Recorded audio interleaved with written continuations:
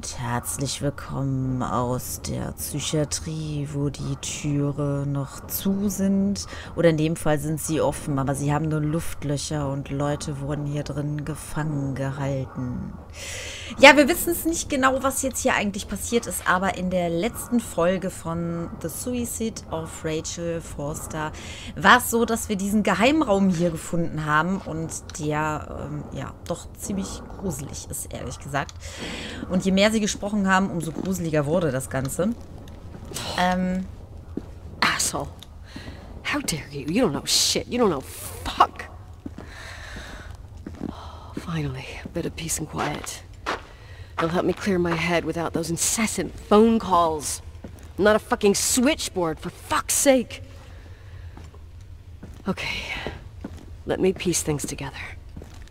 I just found out there's a room dedicated to Rachel Foster in my father's hotel. Maybe with items from her real room. Holy Jesus, that's freaky. äh, nee, ich lauf. Some people think she didn't commit suicide, and some even think she's still alive. I have to think it through. What concrete clues did I find? First thing, the phone call. They said Rachel isn't dead. Then the lipstick from ten years ago turns up, still good. And then my father's various notes where he says he still sees her. If that were true, it might explain the sighting by her friend here in the timberline. And now I find her retainer box, but no retainer. That room might not be a reconstruction. If Rachel didn't kill herself, Rachel could have lived here. But if she's still alive, why doesn't she tell her parents? Unless they're all in cahoots. No suicide, no Timberline money. No, no, no, no, I'm just being paranoid. And then, there'd be no reason for her to live in a fucking underground replica of her room. My key in the middle of Rachel's stuff. Is it a message? Where do I fit in? Are you trying to tell me something, Dad? My music box with the hockey player. I don't think I have the guts to hear that tune again. But I must. Ja, ich wollte sie jetzt nicht unterbrechen und ich wusste halt nicht, was das jetzt auslöst, wenn wir hochgehen oder weitergehen. Ähm, ja, das ist genau das, äh, wo ich eigentlich jetzt hin wollte, nämlich erstmal wieder zurück in ihr ja, Zimmer in Anführungszeichen, hier in diesem Master-Dings da, Booms. Äh, war das jetzt hier um die Ecke? Master Suite, genau. Ähm, da steht ja irgendwo diese Spieluhr, von der sie gerade gesprochen hat. Ich glaube, in einem Schlafzimmer oder so von dem Vater. Ich meine, hier rechts haben wir die gesehen. Genau. Dann wollen wir mal schauen, was es mit der Spieluhr auf sich hat.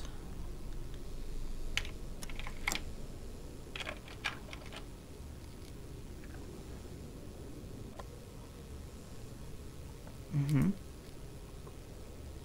Das ist eine kleine The Medaille. 27th of December 1983. The hockey finals at Missoula. Us against Cold Springs High. We won by sudden death after a three-hour game, and I got the medal for the most number of face-offs won. According to the papers, that was the night Rachel killed herself.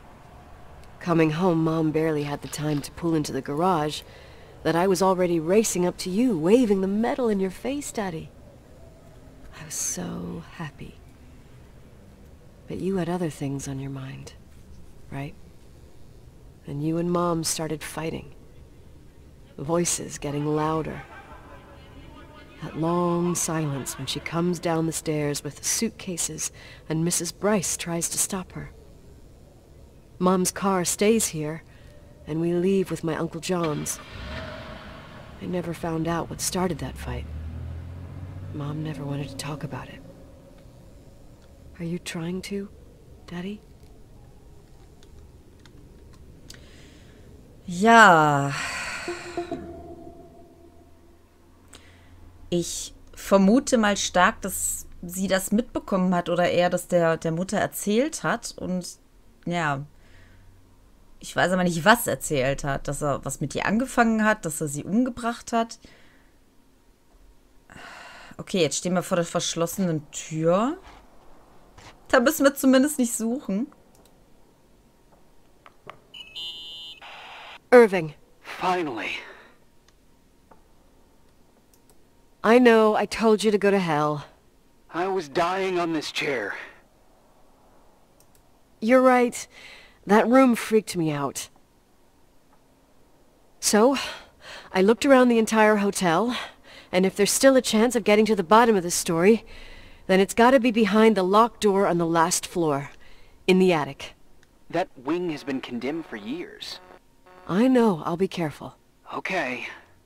There are too many things that I took for granted. It's as if someone was putting pieces of my past in front of me to show them to me under another light. Who are you talking about, Nikki? Maybe it's my father. In my music box, I found the medal I won the night Rachel died. Dad could have put it there, and if he did, there must be a reason. It... It all sounds insane.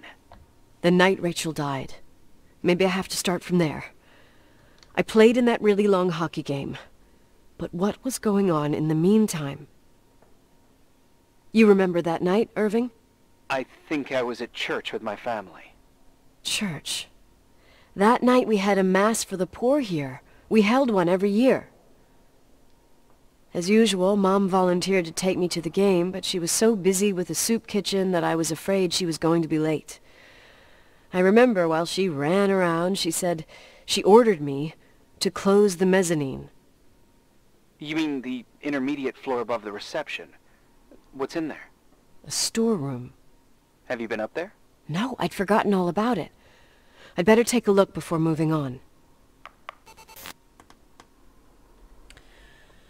Den Raum über der Rezeption.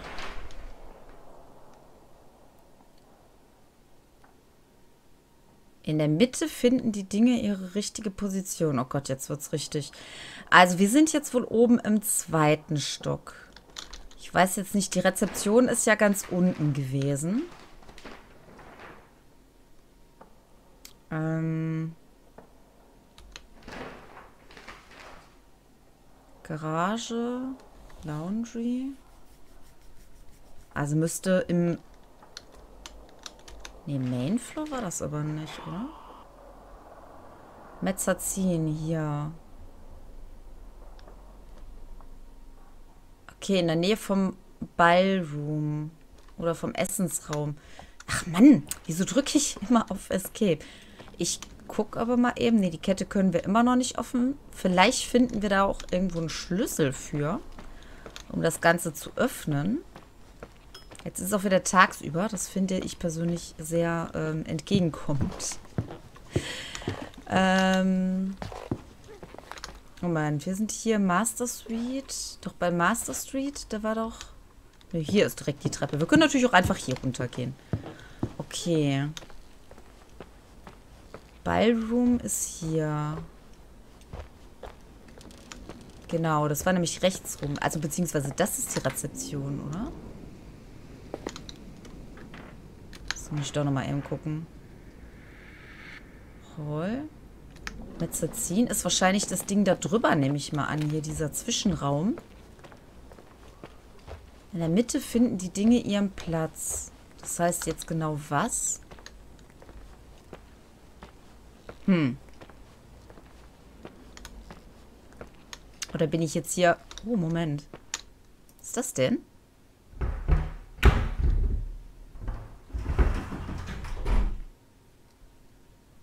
Oh, da will ich nicht rein. Muss ich da rein?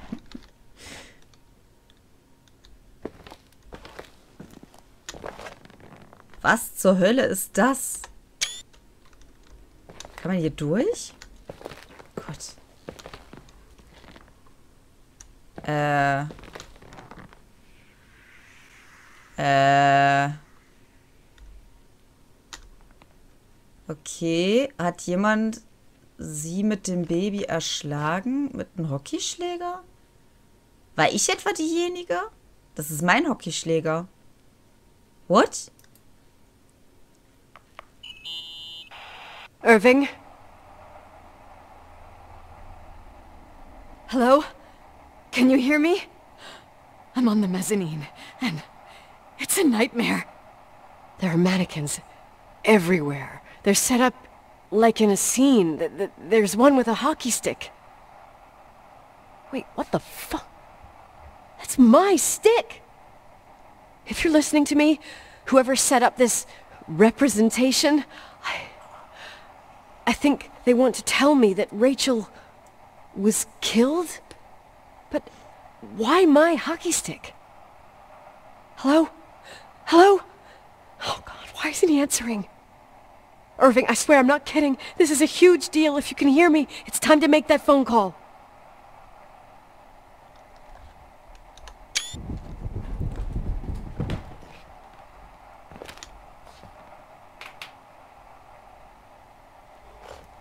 Ich hasse es, wenn Geräusche hinter mir sind. Ähm. Okay. Ja. Und du? Checkliste. Ich habe keine Checkliste mehr. Ich würde ehrlich gesagt gerne hier rausgehen. Die gehen alle oder flüchten alle vielleicht. Es sieht irgendwie etwas extrem seltsam aus. Where are you, Nicole? It's about time. Did you hear my messages? How many doors have you opened, Nicole? How many are still missing? What? Are you... are you drunk? Keep going. Hello? Hello, Irving. Hä?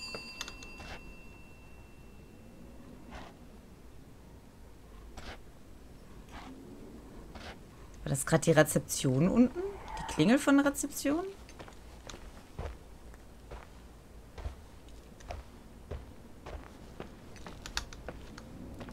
Das war doch gerade die Klingel.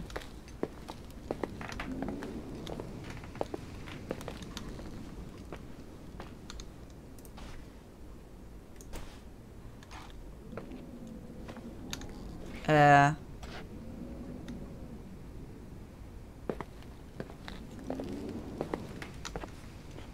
Haben jetzt aber keine...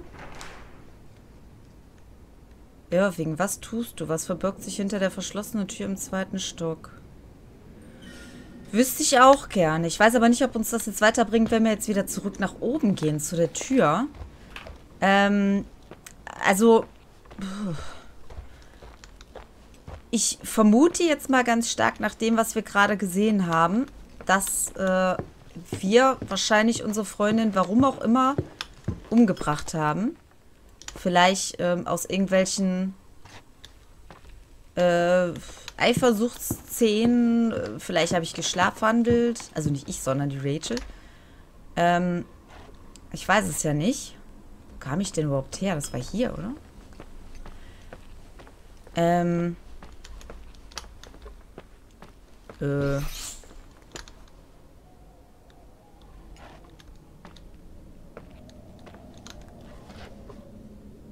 Ich hier schon mal?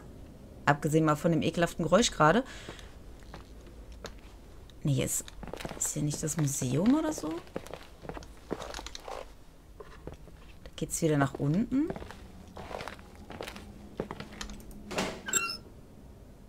Da geht's aber auch wieder runter.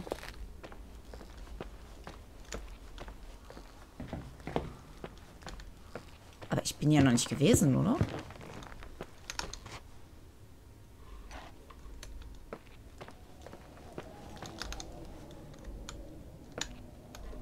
Doch, hier bin ich schon mal gewesen. Ja, klar. Aber das ist nicht der Dachboden hier, oder?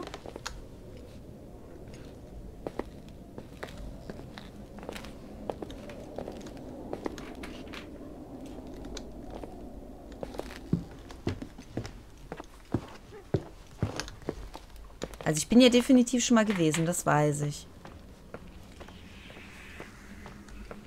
Äh, Museum. Ich habe nur... Ach so, jetzt komme ich wieder zurück. Okay. Ich habe jetzt hier gerade gar keinen Plan mehr, wo ich überhaupt hin muss, wenn ich jetzt ehrlich bin.